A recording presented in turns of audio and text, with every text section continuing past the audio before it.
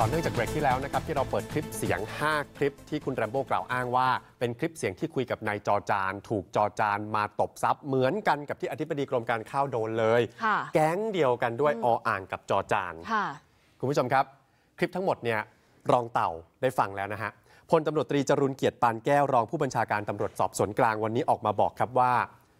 ก็หลักฐานทั้งหมดที่คุณแรมโบ้เอามาให้เมื่อวาน คลิปเสียงเอ่ยการลงบันทึกอะไรต่าง ๆ เอ่ย ถือว่าเป็นประโยชน์ต่อรูปคดีมาก ผู้ต้องหาเนี่ยเป็นกลุ่มเดียวกันเลย แผนประทุษกรรมมันก็คล้ายกันมาก คือคดีมีน้ำหนักมากเลยในส่วนของคุณลัมโบ้ที่มาร้อง แต่คุณลัมโบ้เขาไม่ได้ขอโอนคดีมาที่ปปปนะ ทีนี้นักข่าวก็ถามกลับว่า แต่นอกจากออ่างจอจานทีนี้มีวอลแหวน แล้วก็ในทำนองว่าวอลแหวนก็ซัดกลับด้วยว่า เอ๊ะ จริง ๆ คุณแรมโบ้ก็ตบซับเหมือนกัน ตบไปตบมา เรื่องนี้รองเต่าพลตำรวจตรีจรุนเกียรติบอกว่า อย่าเพิ่งไปเปิดแผลแรมโบ้ท่านบอกอย่าเพิ่งเปิดแผลแรมโบ้ตอนนี้ข้อมูลที่ให้ถือว่าเป็นประโยชน์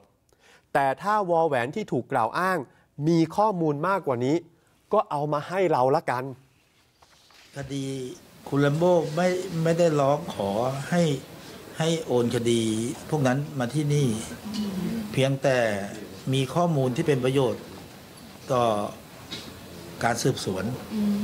แล้วก็ทำให้น้ำหนักของการอ่าดำเนินคดีเนี่ยมีน้ำหนักเพิ่มขึ้นนะครับ เป็นประโยชน์ต่อรูปคดี ยังอย่าเพิ่งไปเปิดแผลคุณลัมโบเอาเอาเป็นว่า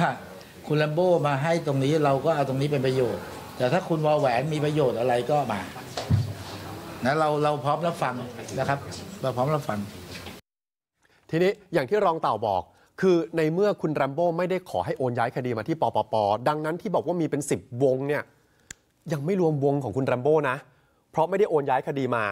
ทีนี้รองเต่าก็เลยไล่เลยเอาตั้งแต่วงแรกแล้วกันอธิบดีกรมการข้าว เมื่อวานที่ปรากฏภาพ คือเขากำลังประชุมกันอยู่อยู่ดีๆ ท่านอธิบดีกรมการข้าวมา รองเต่าต้องออกจากห้องประชุมมาต้อนรับ ก็อย่างที่คุณผู้ชมถ้าติดตามข่าวจะทราบ ปรากฏว่าอธิบดีกรมการข้าวเนี่ยเข้ามาให้ข้อมูลว่า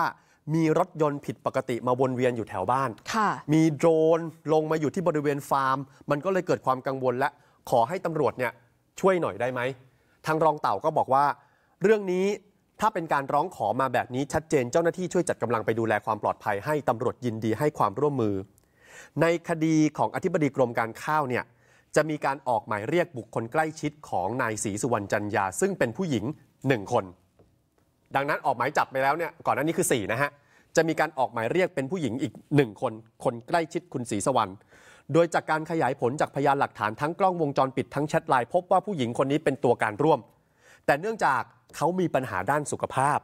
ตำรวจและศาลจึงเห็นตรงกันว่าก็ให้ดำเนินไปตามหลักการที่ไม่รุนแรง จึงนำมาซึ่งการออกหมายเรียก ให้เข้ามารับทราบข้อกล่าวหาจะเป็นวันพฤหัสหน้า 15 กุมภาพันธ์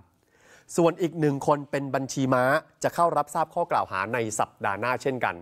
ดังนั้นในวงที่1อธิบดีกรมการข้าว นอกจาก 4 ผู้ต้องหาก็จะมีอีก 2 คนค่ะสัปดาห์หน้ามาผู้หญิงที่ใกล้ชิดกับคุณศรีสุวรรณและบัญชีม้า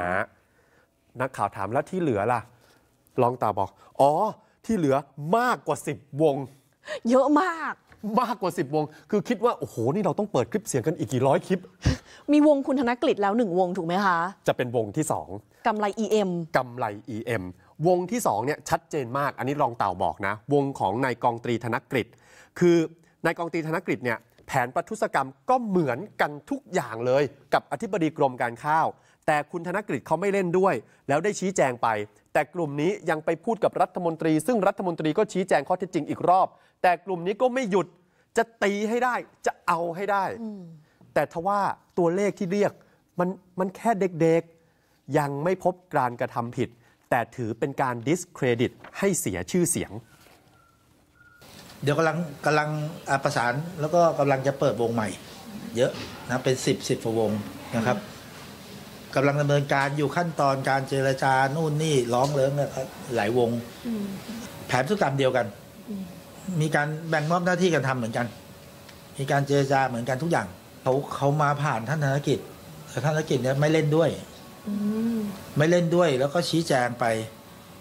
อ่า บางส่วนเขาก็ขึ้นไปพูดคุยกับรัฐมนตรีด้วยรัฐมนตรีก็ชี้แจงจนเข้าใจแล้วก็ยังไม่เข้าใจ ก็ยังดื้อดันทุลังนะครับ ก็ ธรรมดาเรื่องเรื่องเรื่องเนี้ยอ่า เขาตีทุกฝ่าย ตีวิ่งทุกฝ่ายเพื่อที่จะบีบรัดให้ให้มีการจ่าย ไม่มีการเสียหาย แต่มีการเรียกรับ ไม่เยอะไม่เยอะไม่เยอะไม่เยอะเด็กๆ ไม่ไม่ไม่พบความผิด แต่เสียชื่อกลุ่มผู้ต้องหาก็เป็นนายอกับนายจอเหมือนกันไหมคะกลุ่มเดียวกัน กลุ่มเดียวกันในอกับในจอ ทีนี้ในวงที่ 2 ก็เป็นวงคุณธนกฤษ ส่วนวงที่ 3 เดี๋ยวจะเปิดต่อไป เป็นหน่วยงานข้าราชการ ผู้เสียหายเป็นระดับผู้ใหญ่ผู้เสียหายรับปากแล้วว่า สัปดาห์หน้านัดหมายจะเข้ามาให้ข้อมูล นี่ผู้เสียหายแต่ละท่านที่เปิดออกมา ก็ผู้ใหญ่ทั้งนั้นเลยนะ แล้วจะมีเป็น10วง โอ้โหโอ้โห คุณผู้ชมฮะสัปดาห์หน้าน่าจะเข้มข้นมากสำหรับค่ะคดีตบทรัพย์ทั้งหมดนี้ ทีนี้คือเรื่องราวมันก็เกิดขึ้นกระทรวงเกษตร เยอะหน่อยนะฮะ ทั้งอธิบดีกรมการข้าวทั้งอธิบดีฝนหลวง ร้อยเอกธรรมนัฐพรมเผ่าก็บอกครับว่า คือเอาประเด็นแรกก่อนเรื่องที่อธิบดีกรมการข้าวกังวลเรื่องความปลอดภัยเนาะมีชายนิรนามเอ่ยมีโดรนเอ่ยเรื่องนี้เดี๋ยวจะนัดให้อธิบดีเข้ามาให้ข้อมูล น่าจะเป็นบ่ายวันนี้แหละ ตนส่งหนังสือไปแล้วไปยังหน่วยงานด้านฝ่ายความมั่นคงให้ตำรวจเนี่ยไปช่วยดูแล พฤติกรรมของบุคคลปริศนาเนี่ยอย่าเพิ่งไปตั้งสมมุติฐาน ว่าเขาข่มขู่หรืออะไร ขอให้เป็นหน้าที่ของเจ้าหน้าที่ตำรวจไปแล้วกัน ขอให้แยกคดีความ คดีความเป็นหน้าที่ของตำรวจ การทุจริตในกระทรวงเกษตรและสหกรณ์เนี่ยผมจัดการหมดแล้ว เรื่องนี้เป็นเรื่องที่ผมก็ก็ห่วงท่านอธิบดีและครอบครัวตลอดเวลา เมื่อวานท่านก็โทรปรึกษาผมว่าจะให้ทำยังไง ซึ่งตอนบ่ายเนี่ยผมนัดท่านไว้แล้วว่า ให้ท่านมาให้ข้อมูลเพิ่มเติม อย่างน้อยผมจะได้ทำหนังสือไปถึงหน่วยงานฝ่ายความมั่นคงนะครับโดยเฉพาะอยยิ่งเจ้าที่ตำรวจให้ให้ดูแลเรื่องเรื่องนี้ด้วย ถามว่าเรื่องนี้นะครับมันมีผลกระทบต่อ ต่อคดียังไงก็มีผลกระทบนะครับพี่นัทมองว่าเป็นการข่มขู่ไหมแบบเนี้ยหรือว่าเป็นการแบบว่าเออมาแบบเตือนเตือนๆไกลๆให้หยุดจากใครเราก็อย่าเพิ่งไปตั้งข้อสมมติฐาน เดี๋ยวขอให้เป็นหน้าที่ของเจ้าหน้าที่ตำรวจครับอะไรก็ตามหากมันเป็นเรื่องจริง ท่านก็ต้องมีมาตรการในการแก้ไขอยู่แล้ว ไม่ว่าจะเป็นเรื่องการการประกันตัวหรืออะไรอย่างนี้แต่แต่ยังไงก็คือการข่มขู่นี้ไม่น่าจะได้ผลกับอธิบดีหรือเปล่าคะกลับเรียนด้วยความเคารพว่าหลักฐานมันไปไกลแล้ว แล้วคดีเขาจะปิดอยู่แล้ว นั่นแหละครับ คุณผู้ชมทั้งหมดทั้งมวลเดี๋ยวสัปดาห์หน้าตามกันต่อแบบยาวๆ ใหญ่ๆ ครับ